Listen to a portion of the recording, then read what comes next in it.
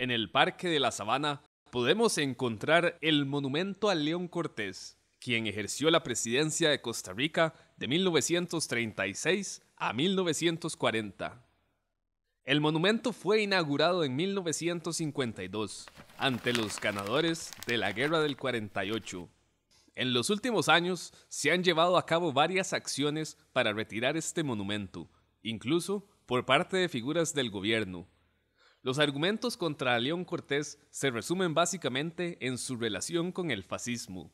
¿Era realmente fascista León Cortés? En este episodio nos vamos a adentrar en la administración de este controvertido personaje.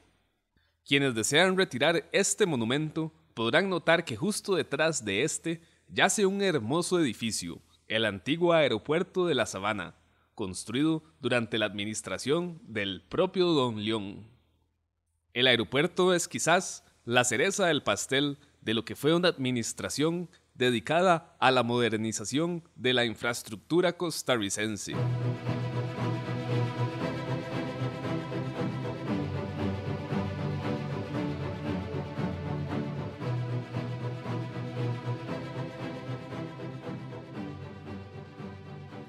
León Cortés Castro nació en Alajuela en 1882.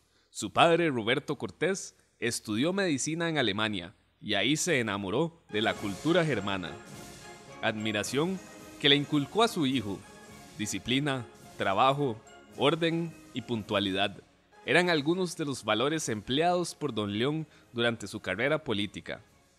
En este video no vamos a detallar su carrera política, pues vamos a tener otros para hacer eso. En este video vamos a arrancar de una vez con su presidencia. Después de tener el supremo honor de haber alcanzado una votación de 53 mil ciudadanos, la más elevada en la historia política del país, y en medio de una manifestación de verdadera apoteosis, fue proclamado el licenciado don León Cortés Castro como presidente de la República el 8 de mayo de 1936.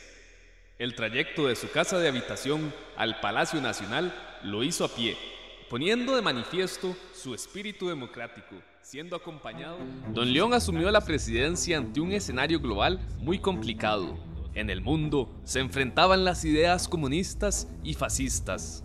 La Alemania nazi suele ser asociada con el holocausto, pero tomemos en cuenta que para 1936 esto no había sucedido y fue casi una década más tarde que se dio a conocer el tema de la Cámara del Gas. Lo que sí había sucedido para 1936 fueron las hambrunas, expropiaciones, ejecuciones, persecuciones políticas y campos de concentración que caracterizaron la Unión Soviética de Stalin. En Costa Rica, el Partido Comunista estaba ganando fuerza, y ante ese precedente genocida, Don León sí que era un ferviente anticomunista, sobre todo porque esa ideología era antagónica con su visión liberal en lo económico y conservadora en lo social. Al llegar a la presidencia, don León, al igual que su antecesor Ricardo Jiménez Oriamuno, no rompió relaciones con la Alemania nazi. Desde luego que el vínculo entre Costa Rica y Alemania era bastante fuerte y antiguo. Añadamos el hecho que Alemania se había convertido en el segundo comprador de café costarricense. Don León no rompió relaciones, pero eso no significó que copiara el modelo de gobierno, pues a diferencia de los nazis, Don León siempre estuvo en contra de agrandar el Estado. Para Don León, el Estado debía ser pequeño, pero eficiente. Él estaba a favor de la libertad económica, un concepto que los nazis no aceptaban. En su primer mes, Don León ejecutó una reforma que fortaleció la democracia costarricense.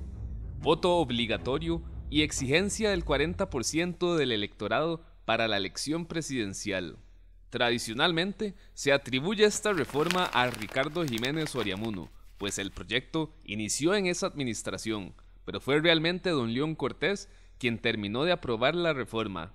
El por qué el voto obligatorio fortaleció la democracia es muy obvio, pero la reducción del 50% al 40% del electorado quizás no, pues resulta que pocos candidatos lograban ganar ese 50% del electorado. Y al no haber un ganador claro, la tensión llevaba a que los políticos conspiraran o tomaran el poder por la fuerza. Ejemplos de esto hemos visto en este canal en 1913, 1923 y 1932, en el que hicimos toda la recreación del Bellavistazo.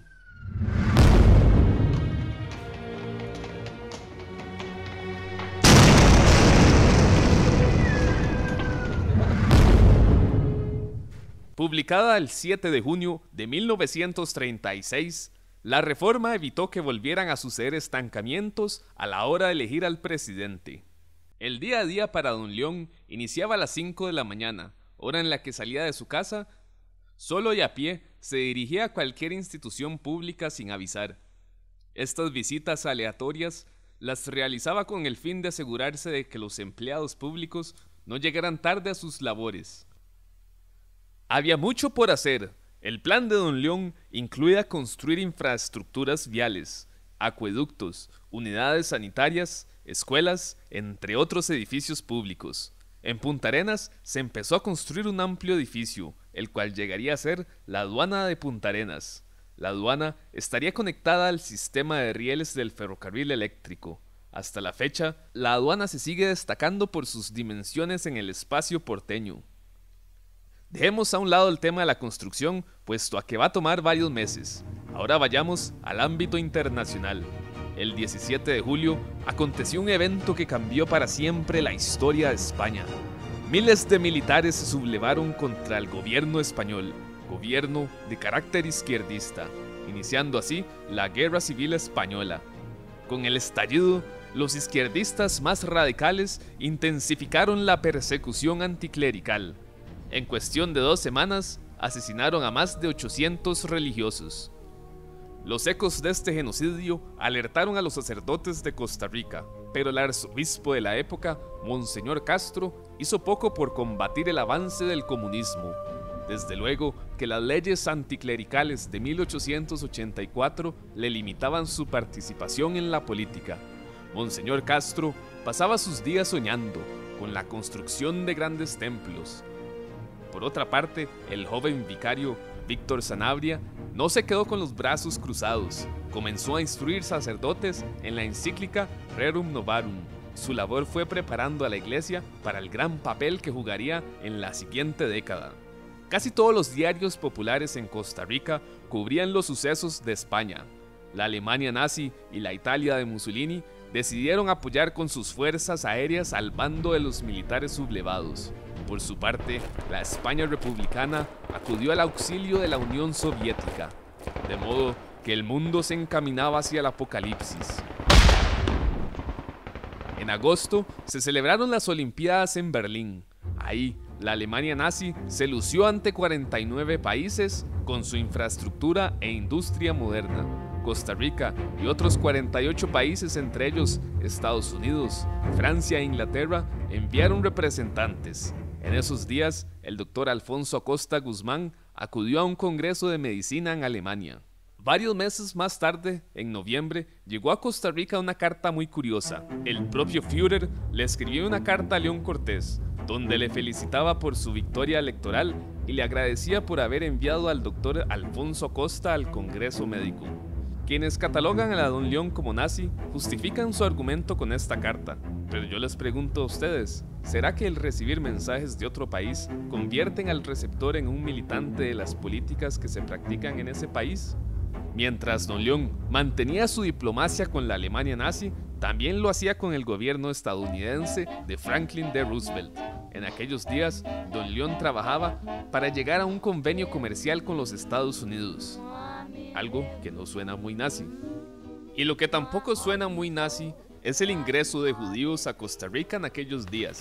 En un documento sobre la inmigración judía nace en Costa Rica, se registra el ingreso de 91 judíos de esta rama. Esta cifra, que se ubica en el año en que León Cortés asumió la presidencia, fue la más alta de aquella época, y según este registro, los judíos continuaron su inmigración a Costa Rica durante el año de 1937 pero de 1937 hablaremos en el siguiente episodio. Suscríbanse para que no se lo pierdan, pues conoceremos más sobre la llamada Administración del Cemento y la Varilla.